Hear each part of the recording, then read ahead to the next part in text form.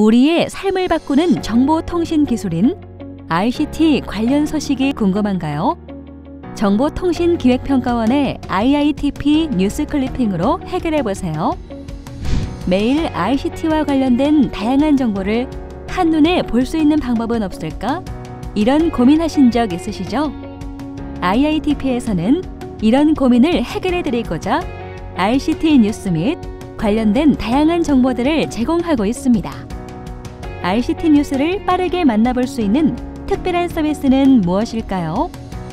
바로 IITP 뉴스 클리핑.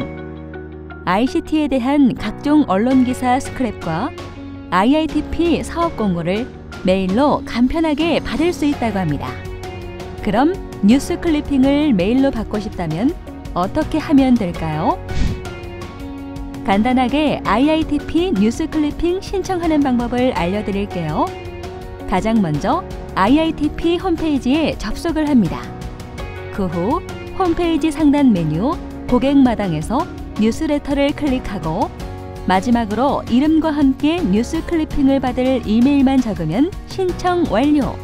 정말 쉽죠? 이제는 IITP 뉴스 클리핑으로 빠르고 편리하게 확인하세요.